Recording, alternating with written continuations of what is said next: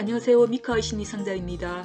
19세기 말 서구인들의 책을 보면서 언제나 궁금했던 것 중의 하나에 관한 영상입니다. 조선에도 영어 통역가가 있었을까? 이 질문에 많은 분들은 명색이 나라인데 당연히 있었겠지라고 생각할지도 모릅니다. 물론 있었습니다. 왜냐하면 조선을 여행한 많은 서양인들이 놀랍게도 조선을 비교적 정확하게 기술하고 있었고 때로 통역의 존재를 말했기 때문입니다. 하지만 궁금한 점은 조선의 영어 통역가는 어디서 어떻게 영어를 배웠을까 하는 것입니다. 19세기 말기에 서구의 문호를 개방한 이후 조선에 들어온 외국인 선교사들에게 배웠을까? 아니면 그 이후 외국인들이 항구 도시에 집단촌을 형성할 정도로 많이 거주했는데 그들과의 소통을 통해 아름아름으로 배웠을까? 언제나 궁금함을 금할 수가 없습니다. 1897년 기록을 보면 부산, 제물포, 원산 세 곳에 거주한 일본인만 해도 만 명이 넘었기 때문입니다. 사실 당시에 인구가 훨씬 많은 중국도 영어에 능통한 자국인 통번역가를 구하는 것이 쉽지 않았던 것으로 보입니다. 예전 영상에서 서태후가 환관이나 궁녀에 대한 신뢰가 낮았다고 한 적이 있었는데 여러 이유 중 하나는 서태후가 보기에 그들이 생각이 없어 보였다는 것입니다. 외교 사절이 오면 거의 언제나 통역가로 중국에 거주하는 외교관 부인을 불러오곤 했다고 합니다. 외교관 부인은 중국에 거주하다 보니 중국어를 잘 했는지는 모르지만 모국어가 아니다 보니 서태후가 정확히 알아들을 수가 없다고 불평했다고 합니다.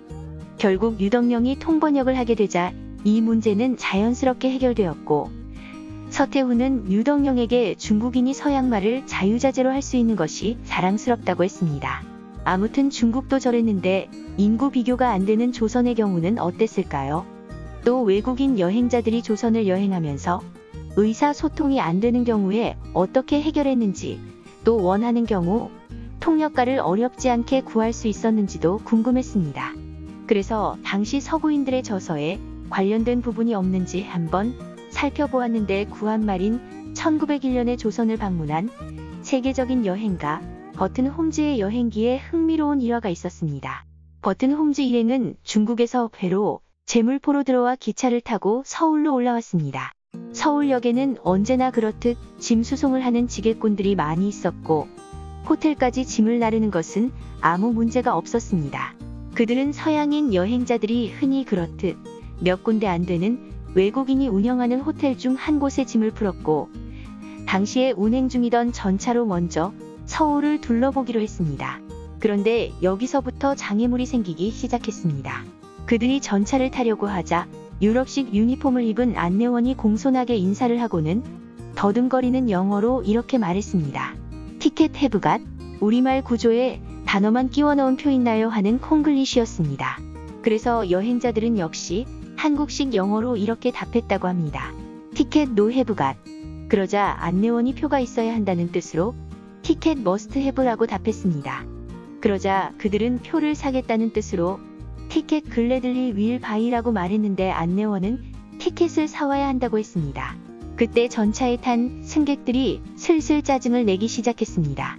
서양 여행자들은 요금을 4배 낼 테니 태워달라고 했지만 안내원은 미란한 표정으로 돈은 못 받게 되어 있으며 티켓이 없으면 못한다는 말을 반복했습니다. 여행자들은 안내원 표정이 너무 애처로와 물러서면서 어디서 표를 살 수 있는지 물었고 안내원은 안타까운 미소를 지으며 이렇게 말했습니다. 알아도 설명하기가 너무 어려워요. 그래서 그들은 어쩔 수 없이 다시 호텔로 돌아갔고 가이드이자 통역가인 조선의 박기호를 만나게 되었습니다. 박기호는 고종의 미국인 법률 자문가에 통역을 한 적이 있을 정도로 알아들을 수 있는 영어를 하는 사람이었습니다. 버튼 홈즈의 기술에 따르면 박기호는 한박 웃음이 인상적이었을 뿐만 아니라 옷차림이 흥결없이 수려해 자신들의 꾀죄죄한 옷차림이 초라하게 느껴지게 만들었다고 했습니다. 처음에 그들은 그에게 일당 37.5센트를 제시했습니다. 그러자 박기호는 그 정도는 여기 사람들이 터무니없다고 여긴다면서 조정해서 제시했는데 그들은 군소리 없이 달라는 대로 주었고 결과는 10배 만족스러웠다고 했습니다. 박기호가 제시한 금액이 얼마였는지는 말하지 않았습니다. 버튼 홈즈 일행은 서울을 둘러보던 중에 그의 집을 방문했고 그의 가족들을 만나 한국 가족의 전형적인 모습을 보았습니다. 이것을 보면 당시에 외국인에게 통번 역가를 소개시켜 줄 수 있었던 곳 중 하나가 외국인 호텔이 아니었나 하는 생각이 듭니다. 하지만 그들이 어떻게 영어를 배우게 되었는지는 여전히 미궁입니다. 감사합니다.